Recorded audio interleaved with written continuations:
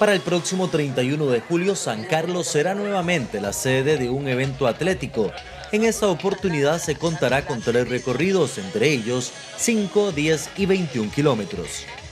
Bueno, hace muchos años, si no me equivoco, unos seis años, hacíamos una media maratón y ahora queremos retomarlo otra vez. La idea es salir de Hermano López, eh, del restaurante Hermano López, ir hasta la Aquilea, darle una vuelta a la cancha y regresar otra vez.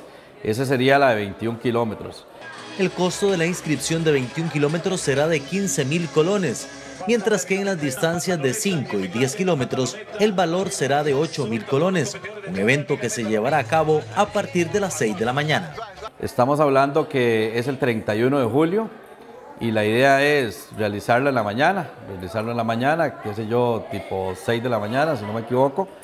Pero eso es lo que queremos, darle continuidad a toda aquella gente que nos ayudó en relevos. Yo creo que la gente que corre aquí en San Carlos se merece ese tipo de actividades y ese es el objetivo del Comité Cantonal de Deportes. El recorrido será saliendo del rancho Hermanos López en la comunidad de Cope Zamora llegando al cruce de Santa Clara para completar 3,5 kilómetros. Paso frente al Instituto Tecnológico de Costa Rica sobre 4,5 kilómetros. De ahí se avanzará hasta llegar al cruce de Florencia, completando 8 kilómetros, tomando a mano izquierda hacia la Aquilea de Florencia. Acá será el retorno sobre los 10,5 kilómetros para los 21 kilómetros de distancia en recorrido. Regresando a los 13 kilómetros sobre el cruce de Florencia, 16,5 se completarán de paso de nuevo frente al Instituto Tecnológico en Santa Clara, el cruce de Santa Clara 17,5 y finalizando con 21 kilómetros nuevamente en el rancho ecuestre Hermano López. Para los 21 kilómetros se premiará con 350 mil colones en efectivo, tanto en la rama masculina como femenina de la categoría general. El primer lugar son 350 mil colones, es el primer lugar.